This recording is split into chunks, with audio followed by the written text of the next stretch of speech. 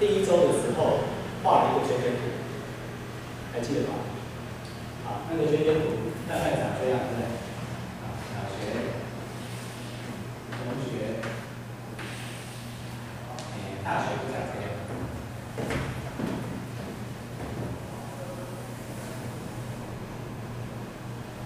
大学应该有点偏。大学，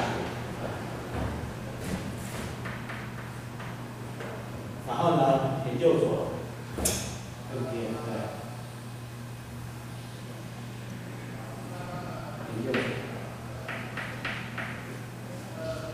然后呢，最后你会发现说，OK，我们有一个全世界的知识，啊，这是全世界的知识。它不偏的啊。那但是呢，最后你这个是硕士，硕士。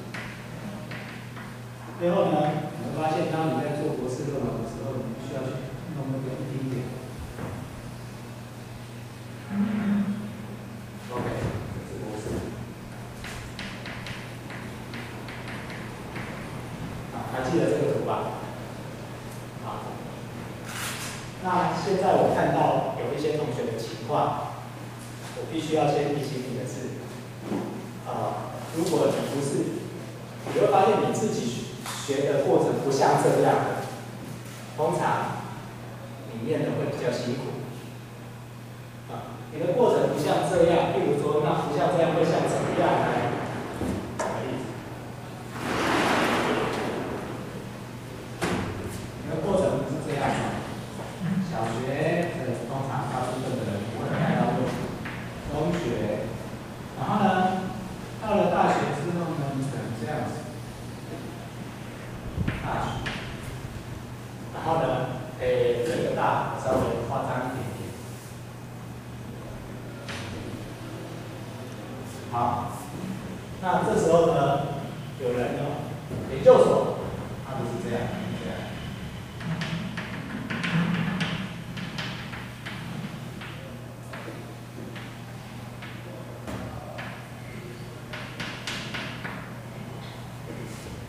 这是他的研究所。那这代表什么意义？或许是相反方向不一定，或许应该往这边。这代表什么意义？这代表他大学的时候可能是念，学，系，研究所突然他念法律系，或者在大学念法律系，研究所跑来念资讯系。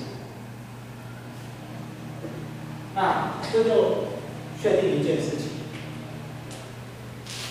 他没有这一块，他没有这一块。那他突然之间研究所要跑到这个领域，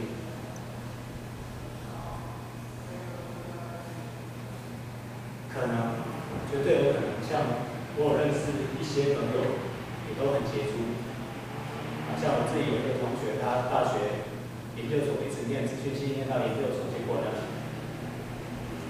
他跑去再念一次研究所，念法律研究所，然后呢，接下来考上考上司法官，跟他选择当检察官，然后现在在在那个就是法务部，OK，他已经当了好多年的检察官，有啊。那但是这个就是转换跑道，你转换跑道，那你转换跑道的时候，你势必要付出一些代价。比较顺利的是像这样，但是当你转换跑道的时候，你要付出的代价就是，第一个你缺了基础的这一块，必须要补齐。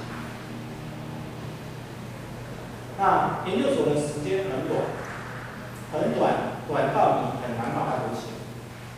所以很可能你没有办法。当你没有办法的时候，你会有病，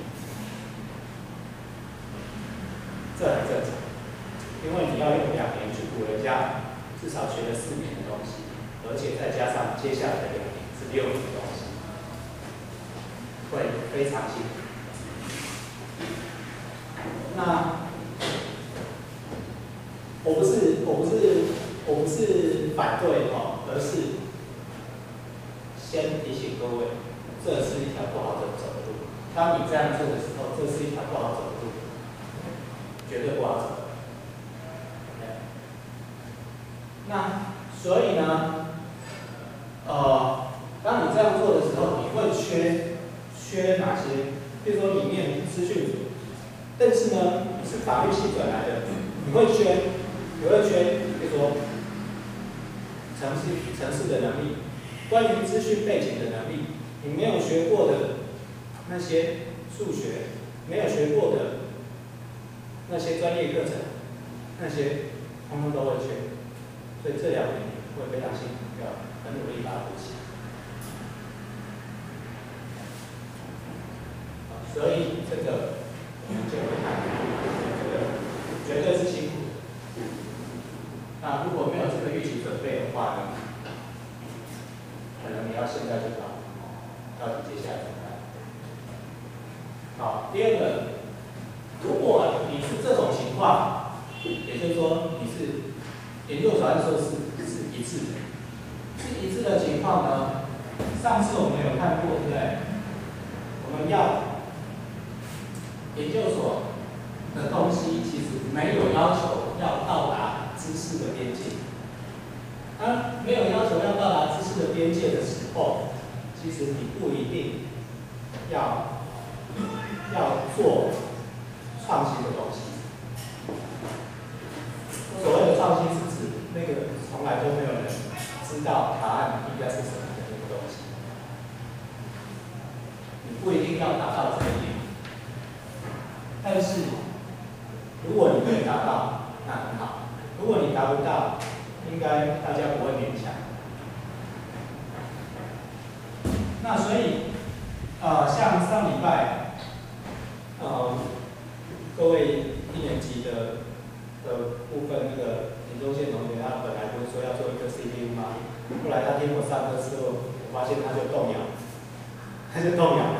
他觉得这 CPU 好像不是我的专长，他从前从前从来没有学过这种数位逻辑设计这些东西的，现在要去补，他发现很困难。即使是他本来就是学资讯领域的，但是因为他从前都是在写程式，然后现在突然转为跑到做一体，他就会发现问题。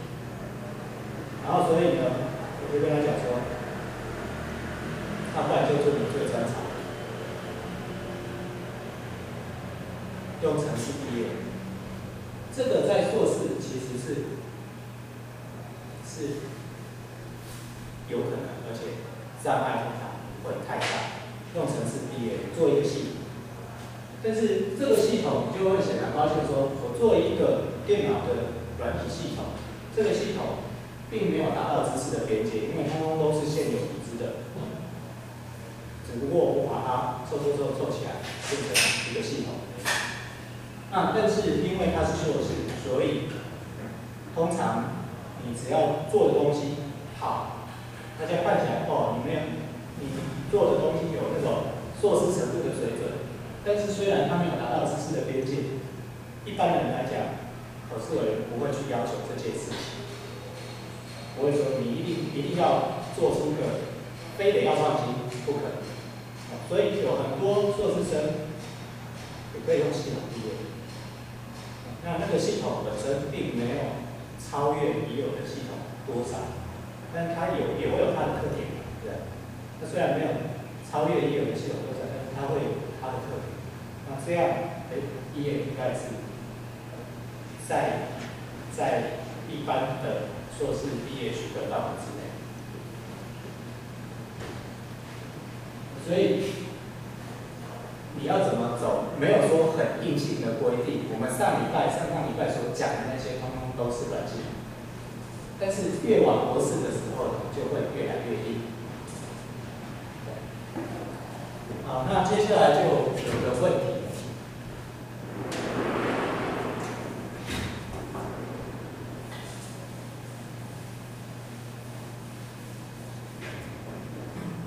我们刚看到说，我可以用软体，也可以可以做系统毕业，但是那个不是我们今天所要讲的，因为啊，那个那个纯粹是看你实做的能力。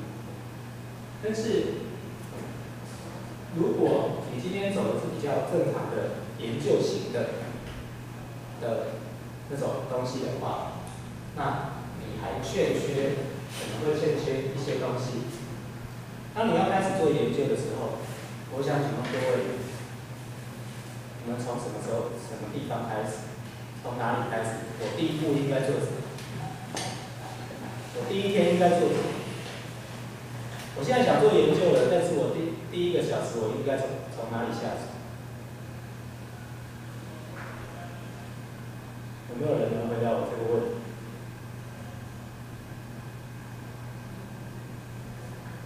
好，那我要告诉各位，当你想开始做研究的时候，如果你领域大致上我也我也知道我应该从哪个领域下手，那接下来你需要的就是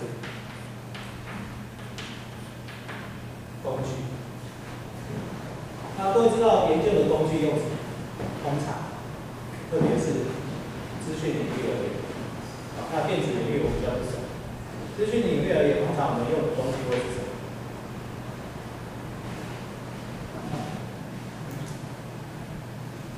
有没有人？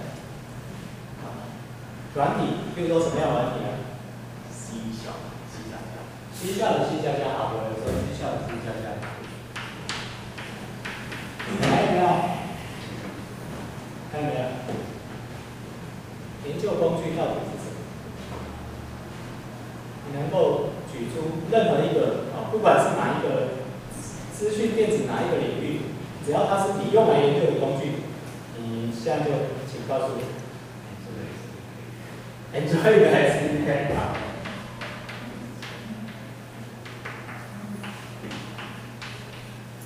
还有没有？还有没有？请问你正在做 Enjoy 的，呃，而且你又来上我的课，对不对？好，还有没有？增加在。没有。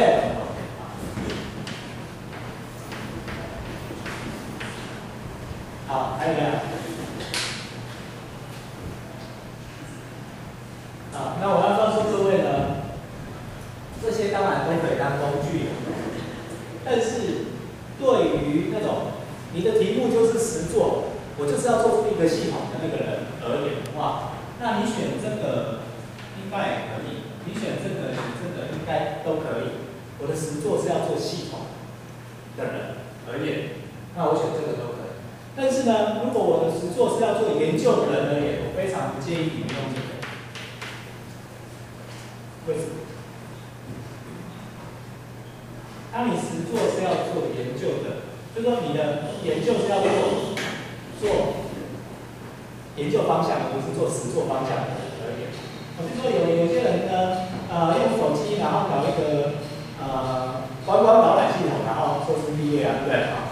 那像这样子啊，OK 啊，那他当然就用 Enjoy 的 SDK 啊，因为都是用手机嘛，而且现在是是的的手机特别强的一段时间嘛，对不对？当然 OK，但是问题是，如果你今天是做研究的，研究型的那种，也就是说你要有一个实验方法，然后进去做实验之后得到某种结果，然后你你告诉人家你的结果，说我的。我的实验结果是怎么样？这种东西，那你不应该用来做 SDK 对不对？那你也不应该用 C 加加吧？你是用 C 加都不太对。这时候你应该用什么？Mailchimp 是最常见，很多人想到说我做工程类的研究，第一个想到 Mailchimp，对不对？OK。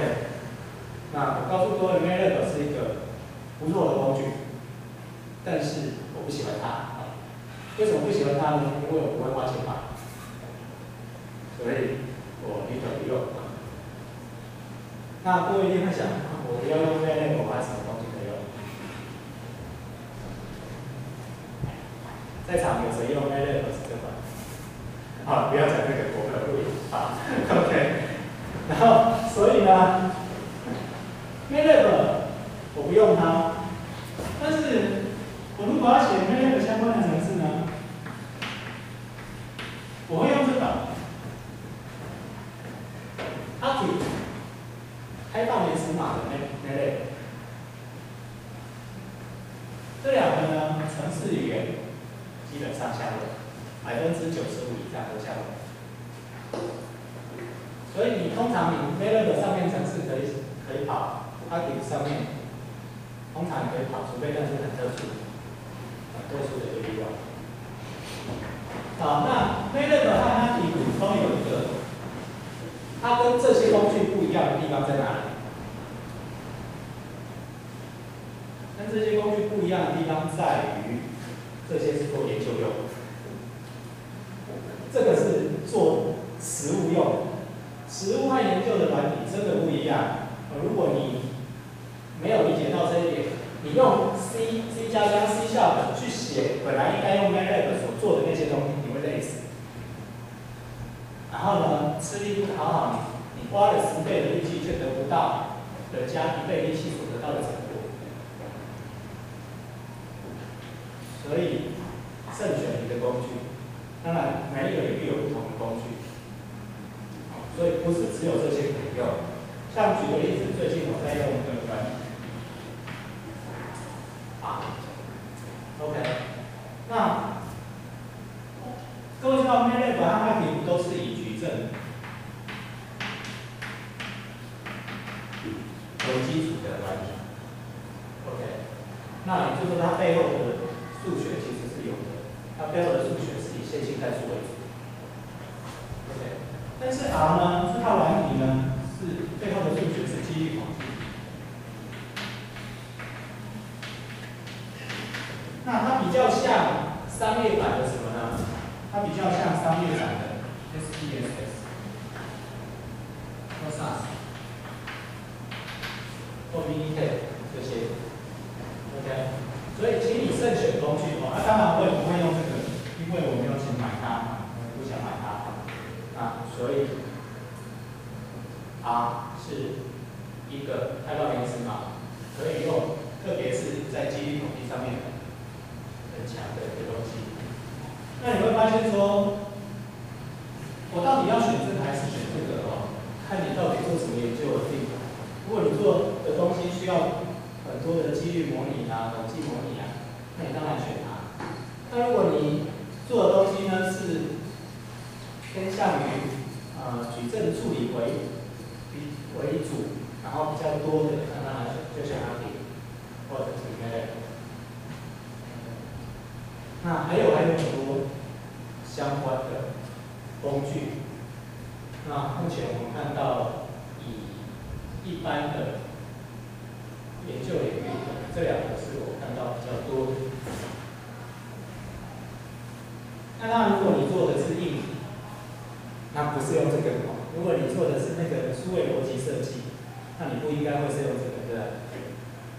啊，可是数位逻辑设计那边，它有自己的软体，比如说 Arteva 的 Portals，或者是，或者是。来例子的软体。那另外，如果你做的是就是网络上面的协定、传送的速度的这种分析研究，那那个科生老师，他有写一个书，那个书是由 NS two 在跑网络的相关的模拟。改变，中间也要写一些程式。那如果你今天要做的是那种研究，你就用 C 去写，不是，最后你会写会蛮辛苦。往往这种东西一行程式码，你用 C 写个一千行都写不出来。为什么？光是一个指令要画记图，你要写多少？办法，但是这个银行指令就这样写了。所以选对工具很重要。选对工具，你做起来就会非常轻松。但是你选错工具，不止非常累，而且会影响到你毕业。而且做的实验又辛苦又吃力不讨好，最后拿出来的东西又一塌糊涂，因为几万码的东西谁干得懂？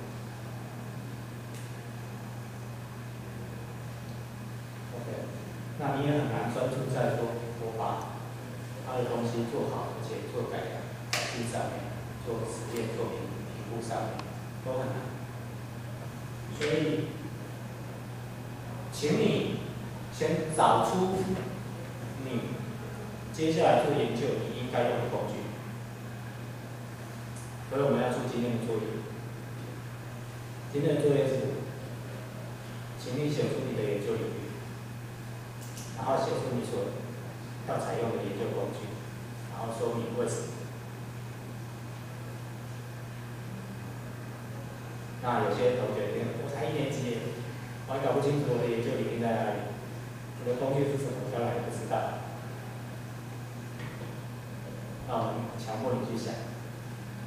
那这个呢，是今天的作业，但是我觉得其实各位是有办法，有办法去想这个问题。虽然你的答案不见得马上就可以要去找，那你可以去问你的老师。如果你已经确定知道老师，你应该问他这个问题：我们这个领域的研究工具应该用什么？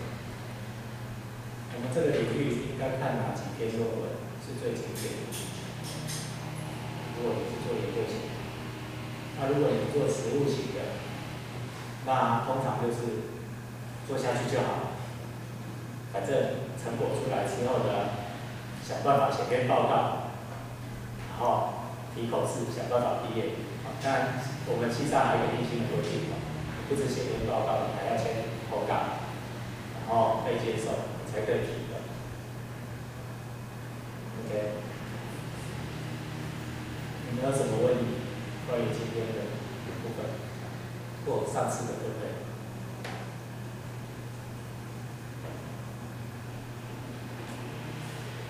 来吧，那就照顺序来，